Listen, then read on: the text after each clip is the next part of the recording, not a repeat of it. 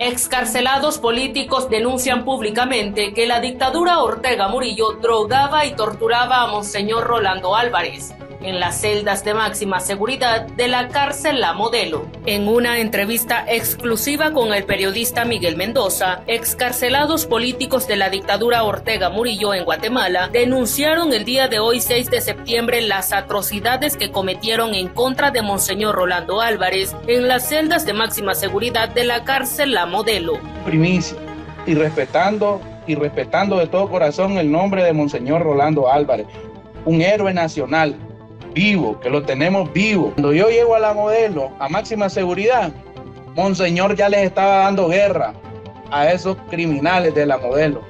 No lo podían frenar. Monseñor tenía unas agallas, una convicción de un verdadero guerrero.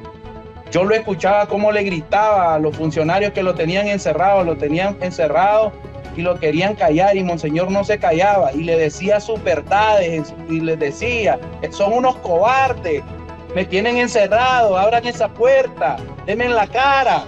Palabras de Monseñor.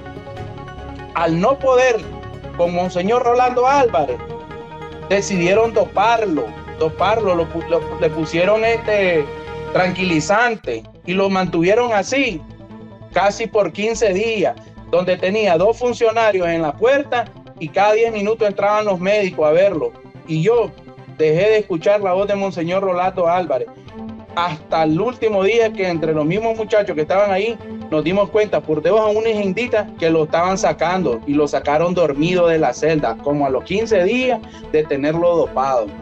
Monseñor Rolando Álvarez permaneció más de 500 días en las celdas de máxima seguridad encarcelado injustamente por la dictadura Ortega Murillo, quienes lo desterraron hacia Roma. El obispo no ha brindado declaraciones públicas desde su excarcelamiento, debido al acuerdo entre la Iglesia Católica en Roma y el régimen sandinista. Les invitamos a que visiten nuestras plataformas de Darío Medios Internacional y miren la entrevista completa con el excarcelado político Pedro Gutiérrez, quien denuncia las torturas y el dopaje que vivió Monseñor Álvarez a manos de la dictadura Ortega Murillo. Nos alegra verlo bien.